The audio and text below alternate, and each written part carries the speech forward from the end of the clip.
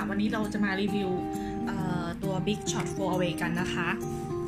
เป็นตัวใหม่ต่างจากรุ่นเดิม ตรงที่ว่ามันพับได้รุ่นเดิมจะเป็นรุ่นรุ่นนี้รุ่นด้านหลัง รุ่นนี้นะคะ รุ่นปกติ จะพับไม่ได้แต่รุ่นนี้จะพับได้ ก็จะสะดวกในเรื่องของพื้นที่ใช้สอย การเปิดใช้งานนะคะ อันแรกเลยตัวแขนจะติดที่เครื่องอยู่มันจะหมุนไม่ได้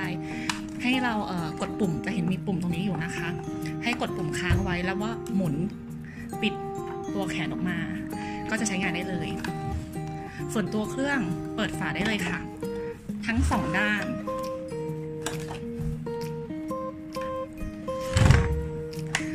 จากนั้นจะเห็นว่าตัวแผ่นมันยังไม่ได้สุดนะคะ ตัวร่องตัวนี้ยังมีร่องอยู่ ให้ดันเข้าไปตรงๆ ให้ดังกึกแบบนี้นะคะ ทั้งสองฝั่ง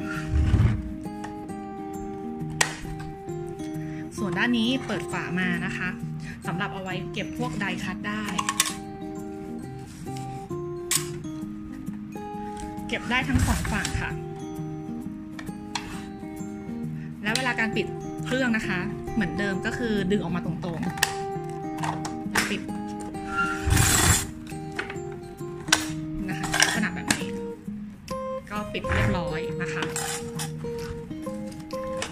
ส่วนของที่ ติดมาจากในเครื่องนะคะว่ามีอะไรบ้าง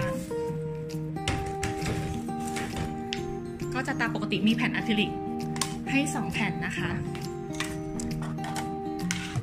แล้วก็มีแผ่นอะแดปเตอร์นะคะ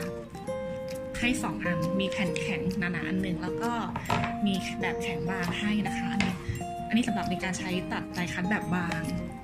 อันนี้ก็เอาไว้ใช้ได้ทั้งไดคัตแบบบาง แล้วก็มีในเรื่องของการใช้ embossing ด้วยนะคะ ซึ่งจะได้เป็นไซส์ขนาดปกติแบบนี้ จะต่างกับเครื่องปกติรุ่นนี้นะคะ ถ้ารุ่นนี้จะให้เป็นตัวแผ่นพลาสติกแบบยาวมาให้ แล้วก็ตัวแผ่นอะแดปเตอร์เขาจะติดกันมาเป็นมันเป็นเล่มมาให้เลย จะไม่ได้แยกออกจากกันนะคะ อันนี้คือที่แตก ที่เพิ่มให้มาก็คือในเรื่องของออตัวไดคัตที่ให้มากับเครื่องเลยนะคะ ในเครื่องมีไดคัตมาให้เป็นอันนี้แบบหนาสำหรับที่ตัดผ้าสักหลาด ตัดผ้าตัดกระดาษ แล้วก็ตัด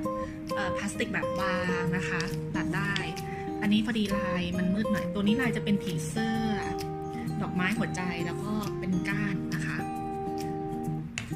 ก็จะมีเป็นให้ไดคัตแบบบางมาด้วย แบบบางก็จะมีลายที่ทำเป็นกล่องเชฟตามนี้เลยนะคะ แล้วก็มีดอกไม้ต่างๆ มีใบไม้ มีหัวใจเนี่ยค่ะ อันนี้ใช้ได้กับกระดาษนะคะ ส่วนอันนี้ให้มาเป็นคู่มือการใช้งาน ก็จะแจ้งในเรื่องของขั้นตอนการวาง embossing หรือพวกไดคัตว่าวางในลักษณะเรียงแบบไหนนะคะ แล้วก็ที่ให้มาอีกก็จะเป็นในเรื่องของตัวเซตกระดาษสำหรับใช้งานได้เลยเป็นกาสต็อก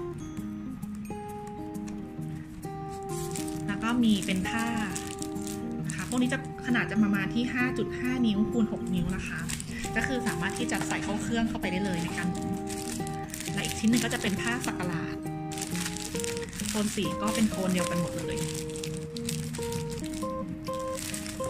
ทั้งหมดที่ให้มาจะมีทั้งหมดเท่านี้นะคะ แต่เราจะไม่ได้ลองตัดกันดู เพราะว่าชิ้นนี้เป็นชิ้นงานเป็นเครื่องของลูกค้านะคะขายแล้ว เอาไว้คราวหน้าจะรีวิวในการตัดให้ดูอีกทีหนึ่งนะคะ